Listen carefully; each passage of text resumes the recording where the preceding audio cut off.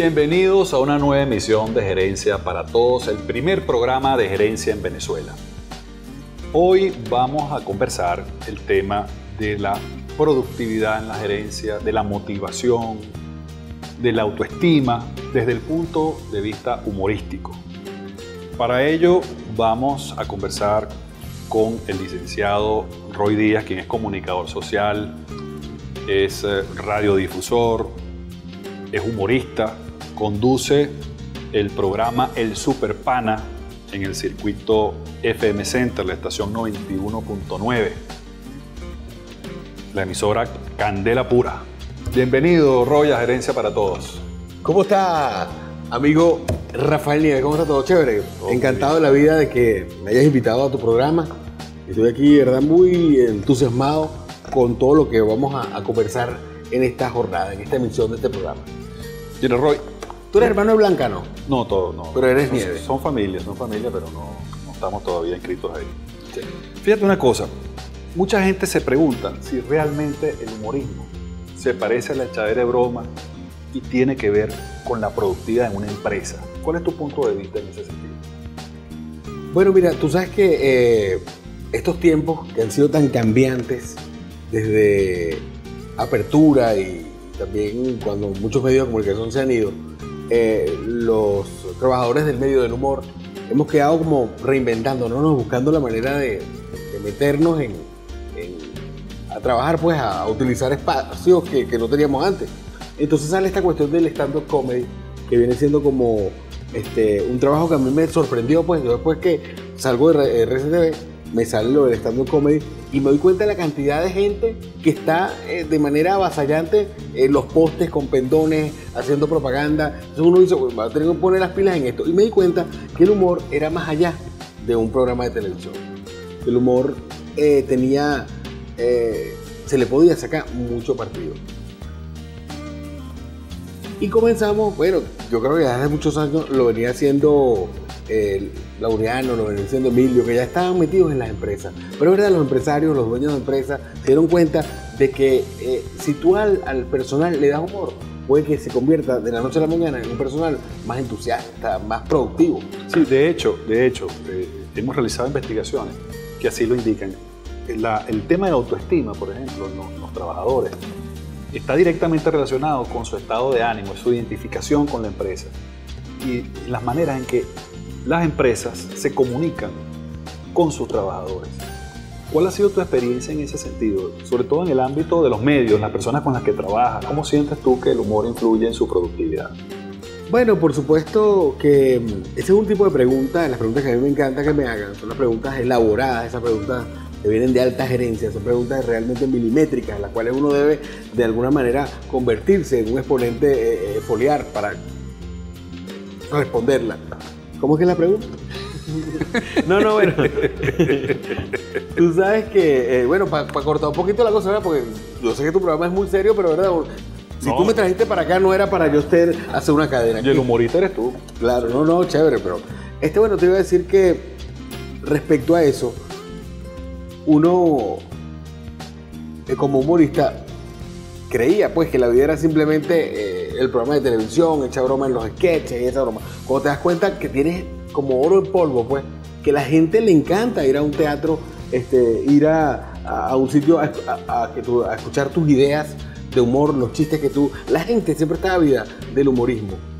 El humorismo te convierte un discurso tedioso en un discurso bien agradable. Simplemente un, un discurso de esos largos, de cuatro o cinco topos, se convierte en, la cosa más llamativa del mundo cuando tú le inyectas humor en, toda su, eh, todo su contenido. ¿Tú has visto que algún gerente de estos famosos, como, sé yo, Bill Gates, por ejemplo, usa el humor? Porque yo los veo siempre con unas caras de preocupación, como tenso. Sí, bueno, ¿Qué crees tú que le hace falta a Bill Gates, por ejemplo, para cambiar esa cara? Bueno, yo creo que el hombre, él debe estar muy triste. Porque yo una vez estuve leyendo que él no podía tener hijos. ¿Sí? ¿Eso? Porque tiene una bola de billetes. Ay, gracias.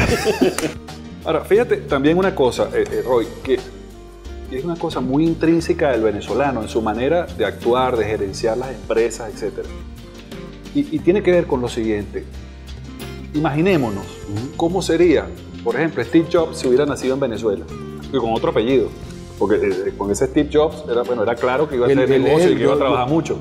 Bueno, tú como eres gerente, estás siempre en, eso, en esos ambientes, tú sabes quién es Steve Jobs, quién es Bill Gates. Yo de verdad me manejo con un cuadro, con los tigres de Aragua, o sea, más cercano. Steve Jobs, Steve Jobs fue el que creó el iPod. Apple. El, el iPod. El iPod. El iPod. pero también la, la Macintosh es él, ¿no? Exactamente. Que él falleció. Efectivamente. Con mucho dinero, muy joven. Efectivamente. Bueno, tú sabes que yo me identifico mucho, no, no lo conocía, lo conozco ahora que veo las referencias que uno tiene pues por internet, por Google, eh, los programas de televisión. Este, si yo me hubiera puesto las pilas, yo me le adelanto no solamente a él, sino a los demás, en, por lo menos en el Twitter. Yo me acuerdo que nosotros entramos al, al, al, baño de la UCB en los años 90. Y cuando tú ibas, tú sabes, al baño tú siempre vas a hacer o número uno o número dos. Hay muchos osados que hacen número tres, pero no, el número uno o número dos. Tú vas a hacer número uno siempre te encontrabas en la pared escritas cosas. Entonces, ese era el Twitter original el venezolano. Twitter original venezolano, pero si yo me hubiera puesto la pila, todavía no tipo ponía con hambre, miseria y represión, en esa época no, un pueblo no se pacifica. Entonces venía otro y ponía, al contrario, transita la vía. La única vía que es, venía otro tipo ponía, la revolucionaria. Venía otro por abajo, inspirada en la, revolución. Sí, inspirada en la violencia. No sé, bueno, en cualquier. Coño, todo el mundo iba poniendo una broma y te metían hasta en ofensa al final. Pero tú. ¿verdad? Tú sé que es la secuencia, pues. La secuencia. No, y uno hasta hacía anotaciones ahí. Pero bueno, ¿por qué no te pones a estudiar política? Salte aquí de la escuela de, de la Facultad de Agronomía. Entonces, este. Cúnchale, e, eso es el modo como yo vería a, un Steve Jobs venezolano, que hubiéramos canalizado esas ideas y, no, y nos hubiéramos ido adelante de él. Eso, es verdad. Ahora fíjate, también nosotros tenemos, sí, tú, me dices, bueno, eh, nuestro Steve Jobs o nuestro Bill Gates, bueno, pueden ser, este, bueno, el caso de tus tíos, esos son como los, el Bill Gates venezolano, este Simón Díaz, porque es súper creativo, igual que tu tío José. Y que siempre Vamos a continuar conversando sobre esa herencia del humor luego de la siguiente pausa.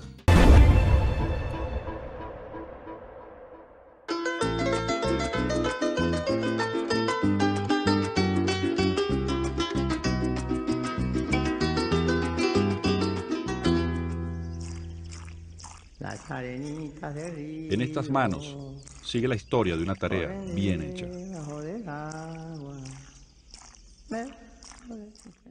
En estos ojos está la mirada del tiempo. Frute palma, frute palma. Ese tiempo de niño que aún sigue con nosotros. Que contigo y mi sudor es más bonito llegar. Y en estos cabellos hay una experiencia llena de cosas buenas. Esas que nos han hecho lo que somos hoy. La vaca mariposa tuvo un terné.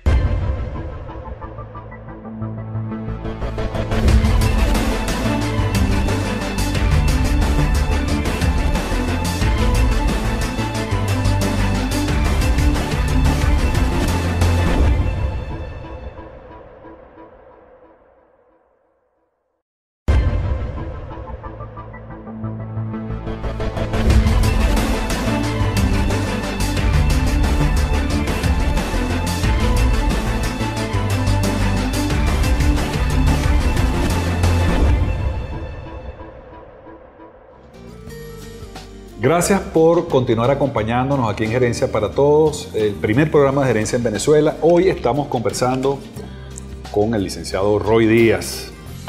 Eh, Roy Díaz lleva también a cabo una iniciativa muy importante en el circuito FM Center, en ese programa El Superpana Roy. McCoy. Ah, verdad.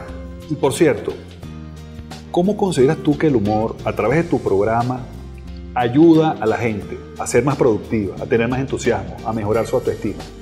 Bueno, tú te das cuenta que una emisora tiene buenos números. Hace poco nos dieron unos números muy interesantes de la emisora, este, teniendo una señal que en un momento fue muy precaria, eh, la 91.9, se le hicieron algunos ajustes, algunos arreglos y la programación ha calado. Nos han dado unas cifras que son realmente emocionantes para nosotros. ¿Y por qué? Porque bueno, hemos puesto allí los puntos más importantes como lo son la música. La música es quizás la sangre pues de una emisora de las cuales tú quieres que tengan mucha sintonía. Pero este, una radio se parecería mucho a un, iPod si no le pones también un ingrediente que es el locutor. Y un locutor aburrido que nada más anuncia temas y da la hora, a la gente tampoco le gusta. Y se demuestra pues que cuando tú eres echador de broma, cuando tú haces comentarios de internet eh, y sobre todo comentarios de noticias curiosas, Y el tema del humor también, porque yo considero que tú, tú haces un humor integrador. Y de eso quisiera que, que nos comentaras un poco los tipos de humor que tú percibes que existen. Yo, yo considero que hay un humor integrador que hace que la gente se conecte y a veces hay un humor, digamos, burlista. humor Sí. negro. Puede ser denominado así. El hecho es que eh, eh, ese humor integrador eh, noto que es el que la gente necesita. Sí. Por supuesto, porque hay gente que no, que este humorista es chévere, es bueno, pero a veces es pesado, se mete en, en- en territorios que son realmente eh, delicados, se mete con las deficiencias de las personas, con la discriminación. O sea, a mí ese humor no me gusta. Me gusta más el humor universal, el humor que, que puede llegar a todas las personas. De hecho, a veces le pasa a uno cuando está en la tarima, la gente te dice, si tú eres muy light, Oye, pero no dijiste una grosería. Y si dice grosería, ónchale. Entonces uno tiene que buscar un punto de concentración ahí donde, donde tú tampoco seas, lle- llegues a los rayes en lo chabacano. Y en ese sentido, digamos, tu, tu- familia, tus tíos, eh, han hecho un aporte importantísimo al humor en Venezuela. pues. Eh, Ocelo. Simón Díaz, pues, también en la música, digamos, uno de los- nuestros compositores universales, digamos, de alguna manera eh, es un gerente, sobre todo porque pudo administrar su talento de una manera impresionante. Y continúa, pues, ese, esa, eh, cosechando eh, éxitos y públicos. Háblanos un poco de ese ambiente familiar, creativo en el que creciste. Bueno, tú sabes que eh, yo le agradezco muchísimo a los dos, este, y a los dos casi que por igual, pues, para no poner uno a... Pero con el tío Simón tuve yo un acercamiento bastante grande, casi que como hijo, pues, de él, ya que eh, eh, yo estaba estudiando, como les dije hace un rato, agronomía en Maracay, y bueno, salí con las tablas en la cabeza, que después estudié comunicación social y me gradué en la, en la católica. Pero después que salí de las tablas en la cabeza, le dije, tío, yo quiero trabajar contigo. Y mi tío me, me puso como coordinador general de su programa en Radio Rumbos. Un programa que tenía más de 30 años, se llamaba Rumbos, Coplas y Canciones. Allí yo le, hacía como una especie de, libretico en el cual estaban lo- los invitados especiales de la música criolla que estaban ahí, algunos que otro chistecito y alguna que otra este, reseña biográfica de cada uno de los invitados. Y también le, coordinaba la parte comercial, cuando iban las cuñas, su presentación, su despedida. Un eso para mí fue una nota y, y me, como ya yo había sacado el certificado de locución, era como mi primer paso para... Entonces le agradezco mucho eso además que él me apoyó mucho cuando yo estudiaba allá en Maracay también. Mi tío me, yo decía Gran Mariscal Simón Díaz porque me daba una mensualidad para que yo estudiara, pero después le confesé, tío, yo creo que esto no es lo mío, lo mío es trabajar contigo y me dio esa oportunidad. Y después él mismo fue el que habló con José Lo Concha, le van, el muchacho quiere trabajar también contigo. Eh, me lo vas a endosar a mí, dijo José. Este, José Lo también eh, me ayudó no solamente a mí, sino a mi hermano Rock Díaz, que lo vas a invitar un día para acá, que Wow. es productor general en Venevisión y sobre todo de este programa que se llama Portada. Fíjate, hay algo que también es interesante y es el relativo a conquistar públicos. A- a esa fórmula, sobre todo usando el humor, que está ahorita tan competido. ¿Cuáles consideras tú que son las fortalezas de un humorista verdadero? Sobre todo tomando en cuenta esa experiencia de Simón Díaz, de José Lo. ¿Podría repetir la pregunta? Eso mismo. Bueno, yo, yo pienso que el humorista debe estar todoterreno. También nos interesa conocer los emprendimientos que estás realizando en ese mundo. ¿Cómo estás realizando esa incursión en el mundo corporativo aplicando el humor? Bueno, yo, una de las cosas que busqué, primero, eso fue una conversación que salió así eh, en un almuerzo de esos de, publicidad, conversando con la gente. Yo pues he trabajado con muchas empresas, XN. No, hablando con la, con la gente de AXN, ellos de verdad me convencieron un día, hablando este, de que el humor se podía mercadear. Yo no sabía. Me dieron como una especie de, de- ese día de, de- de- de directrices las cuales me convencieron. de que uno debía encaminarse por ese lado. Vamos a seguir conversando eh, sobre ese tema de la aplicación productiva del humorismo luego de la siguiente pausa. El tabaco, el chocomán, ¿qué es lo que quiere que te lea? Pero bueno, borra y cipo y no es lo mismo. Borricipo no es lo mismo, no. Eso es como comparar eh, tigre con puma. Ah, no, pero mira, yo no quiero que me lean las cartas. Eso es lo mismo que tú le haces a todo el mundo aquí. ¿Eso quiere que sea algo diferente? Por supuesto. ¿Cómo te llamas? ¿Cómo te llamas? Ay, no. Sí. ¿Cómo te llamas tú? Joselito. Ya somos amigos. Bueno, puede ser. Préstamelo. No llamaste. Más que la dulce de... Bueno, no, no tanto. El majarete. El majarete me encanta más que este majarete. Y la yuca. Y el, y el majarete más me vuelven loco, me fascina. Un majarete. Eh, señores Nápoles, no hay como un majarete volteato. Oh, Bueno, mire, es cierto que usted trabajó para César Borgia. ¿Para hacer qué? Para, para César Borgia. ¿Perdón? Mire, No, ah, vaya, usted ah, está muy usted- simpático hoy. Ah, señor Ah. Usted siempre es así. Sí, ma. Siempre viene con esa Depende, alegría. depende. He visto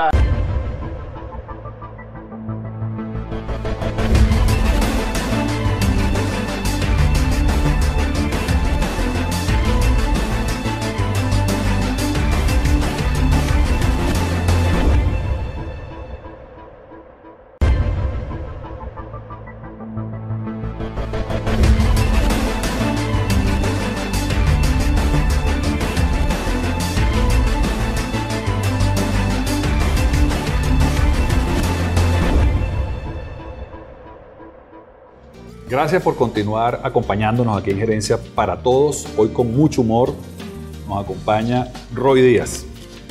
Y Roy, queremos saber qué actividades específicamente en cuanto al emprendimiento humorístico estás realizando. Entonces ahorita el venezolano tiene que, eh, ¿cómo se llama? Reinventarse, eh, buscar la manera de que esa vida aburrida que llevaba, cambiarla. Y se puede cambiar simplemente con el lenguaje. Yo tengo amigos que no conseguían trabajo. De repente el tipo puso en su tarjeta de presentación, puso, yo soy supervisor de tráfico interno. Consiguió trabajo. ¿Qué era eso? Portero. Conseguí uno que decía, distribuidor de alimentos en locaciones de alta concentración demográfica. No tengo idea. Vendedor de papitas y manitos ton en el estadio. Y otro puso, eh, distribuidor de productos alternativos de alta rotación. Bonero. Entonces, oye, eso es lo que hay que buscar. Hay gente, tú que este es el colegio de, de la Cámara de Comercio, pero hay un colegio de contadores, ¿verdad? Así es. Hay gente que es contador. Yo soy contador, pero de chiste. Está muy bien. Pero insisto, ¿cuáles son los emprendimientos específicos que vas a realizar próximamente? Bueno, a mí me gustaría, y de esto, gracias a esa, esa conversación que tuve en su momento con la gente de AXN, eh, ellos me decían, ¿por qué no haces un taller de motivación este, del humor? ¿Por qué no haces un taller también acerca de nuevos productos humorísticos? O sea, y de verdad que me pusieron a pensar, yo dije, escucha, verdad que, esto hay que hay que tomarle la palabra a esta gente y- y- y estar trabajando desde ya pues en eso. Próximamente vamos, vamos a darle cobertura a, a ese lanzamiento que vas a hacer. Queremos también conocer un poco las cosas que te motivan, porque eh, nuestro público necesita esa energía para automotivarse. Nosotros aquí creemos en la automotivación. Sabemos que hay personas que nos inspiran, pero la motivación es interna. Eso tiene que ver con la, con la autoayuda también. Un poco, sí, también.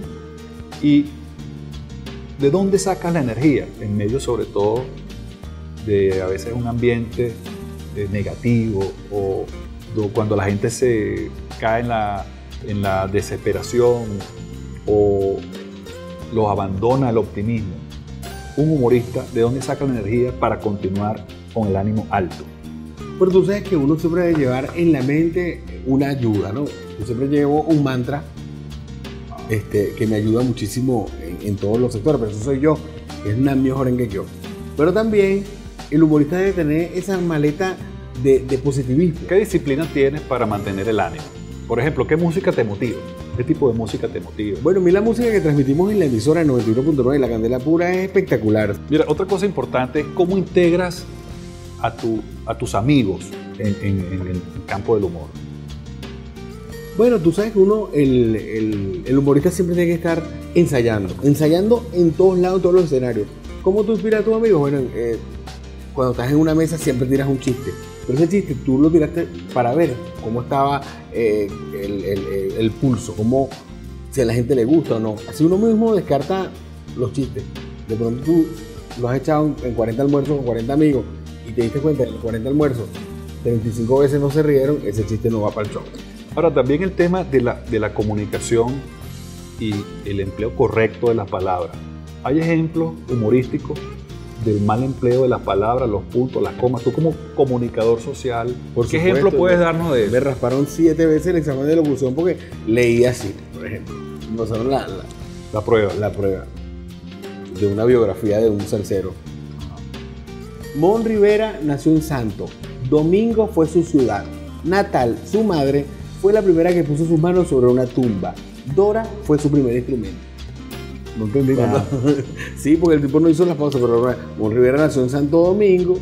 Ah, Su madre fue la primera que puso sus manos sobre una tumbadora, que fue su primer. Bueno, entonces eso, así. eso es muy importante, eh, sobre todo un locutor. ¿Y cómo integras a tu familia? Ahora tu, tu pequeño hijo, tu esposa, ¿cómo lo Claro. integras al, al tema del humor, sobre todo con esa tradición humorística de tu familia? Bueno, ese hijo nos costó un mundo tenerlo porque ella se ríe de todo lo que yo hago. ese ya estaba dormida. No, este, los chamos, punchale, yo eh, ahorita tengo un nene de, de un año y siete meses. Ya cuando transmitan esto será ocho meses. ¿Cuánto? Más o menos, Más o sí, menos. puede ser. Este, y, y tú te das cuenta, vale, que toda la, misma gente te dice, ese muchacho es Díaz. Nada más le ven la cara, es Díaz. ¿Por qué? Porque eh, eh, se, pare- se parece a este lado, pues a Joselo, a Simón, tiene sonrisa, tiene cosas. Y hasta le encantan las tonadas. Yo lo puesto, lo duermo. Pero no le pasó lo mismo que cuando tú naciste. no, no, Este mire. muchachito más huemoso. Claro, no, no. ¿Por qué te- qué- qué- cuál fue tu salió caso? En, en ese lado hacia la mamá, este en 2.0. Antes 2.0, pero no le pasó lo que te pasó a ti. En mi caso, fue que yo cuando nací, chamo, yo, yo tuve la suerte que tuvieron todo este equipo. Usted nos trajo una, una cigüeña, me trajo un samuro. Yo aprendí a caminar los tres días porque nadie me quería cargar. Tú. Este chamo mío no, este chamo mío es una belleza, pero tiene detalles de la familia Díaz. Tiene, incluso, eh, yo lo arrullo con, con las tonadas del tío Simón y el chamo ya está dándole. Entonces, eh, no, no pronuncia, pero ya está. Ah, cero de la mañana. ah, préstame tu claridad. ah, para el número. Ese es el Chusmita 2021. O sea que Yo te felicito, te felicito. Y Vamos a final- hacer ese programa. Bueno, esa es otra de las cosas. Este, me puso a pensar, y si yo hago contesta por tío Macoy, ah, con el chamo. El chamo viene por ahí dando unos pasos. Está muy bien, está muy bien. Agila, agila, novillo por la huella el cabretero. Finalmente, ¿Cómo que finalmente? finalmente, Roberto, que sí, tenemos, tenemos Sí, pero no el tiempo, quedamos el que- tiempo, el tiempo pasa. Un chaval, y nos estamos poniendo viejos. Y hay que, y hay, no, pero no, no, pero no, viejo nunca. Nosotros tenemos que aprovechar el tiempo, hacer gerencia del tiempo. Claro, claro. No vale, me encanta, ¿verdad? Y por eso, y por eso quisiera que nos transmitieras un mensaje de optimismo, de humorismo para todos nuestros televidentes.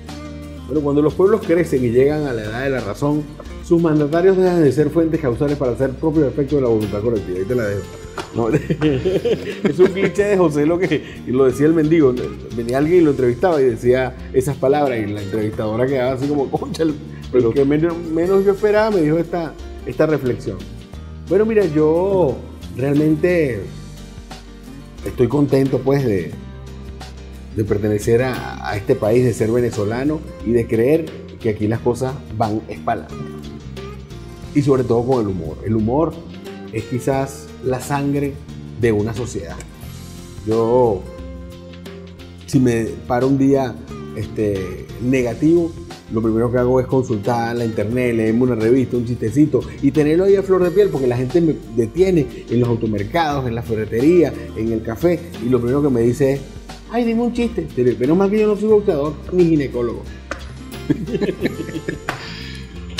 Bueno, Roy, muchísimas gracias por acompañarnos aquí en Gerencia para Todos. Estoy seguro que, Suerte. que nuestros televidentes Suerte. han disfrutado de esto. No, que me suerte la mano. Muchas gracias. Muchas gracias, Roy. A ustedes, amigos, muchas gracias por estar aquí con nosotros en Gerencia para Todos. Como decía José, a los muchachos cencia y a la gente con cencia. Hasta luego.